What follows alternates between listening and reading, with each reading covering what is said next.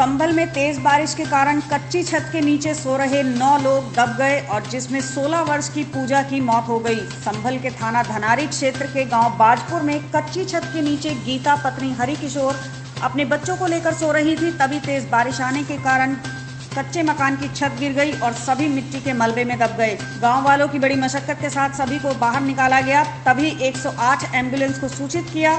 सभी घायलों को बहजोई अस्पताल ले गए, जहाँ डॉक्टरों ने पूजा उम्र 16 वर्ष को मृत घोषित कर दिया। बाकी आठ लोगों की हालत गंभीर देखते हुए जिला अस्पताल संभल रेफर कर दिया, जहाँ उनकी हालत गंभीर बनी हुई है।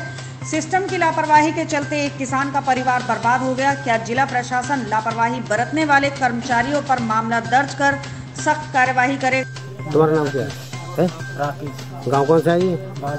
लीजिए ये जो मकान गिरा है आपका गिरा है? हाँ कैसे क्या हुआ? क्या घटना हुई है ये? ये ऐसा था रात को बारिश हुई सारे बच्चे सो रहे। हम्म। तो ये अजबे की एकदम से गिर गया। अच्छा इसमें गंभीर हालत किस किस की है? इसमें पूजा तो खत्म हो चुकी है। वो कितने वर्ष की है? वो पंद्रह सोलह साल। की। अच्छा। और कौन कौन गंभीर हालत में हुआ इसकी मम्मी अभी होश है।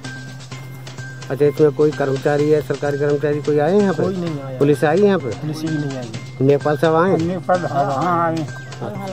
अच्छा उन्हें कहाँ लेके गए अब अब बैजू ले गए अस्पताल में गए।